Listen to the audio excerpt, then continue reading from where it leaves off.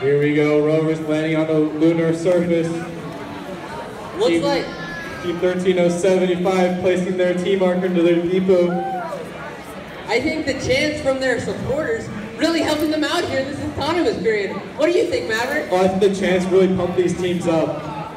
These chants definitely have an effect on the game going on right now. Like, this could have turned the tides here in this match. The tables have turned, the tides have changed because of the chance.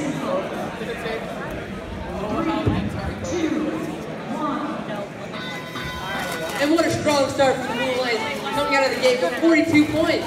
Will the Red Alliance be able to make it up? 9001 fired a, uh, a, uh, a silver spear from across the map and it managed to s- snipe it into their depot.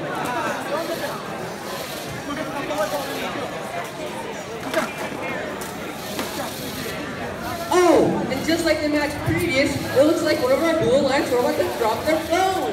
Oh no, but this time it's actually completely on the floor. And looks like they're running over their phone too. I believe they might not want to move anymore or else they're going to damage their phone. Maverick, I'm not sure any three protector can protect that damn that phone station right now. Sadly, I have to agree.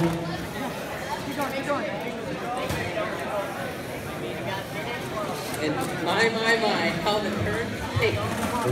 With Red Alliance having a dominating performance coming out of the teleoperated period. Placing three gold and three silver into their depot. Now making that four gold and three silver in their depot. Let's go, Brad! Yeah, I don't think we landed. We were off the ground. 130-75. Now playing some defense, blocking out Jesuit from their own depot. And not to mention they take out two game, three game pieces. Oh, well, looks like they're going to be getting a foul for that. And Jesuit right back, putting two of those pieces back in. Now the robots can climb. The last 30 seconds have engaged. I don't know what Jesuit's doing right now, but it looks like their alliance partner has gotten off the ground. But will it be enough for them to earn points? No!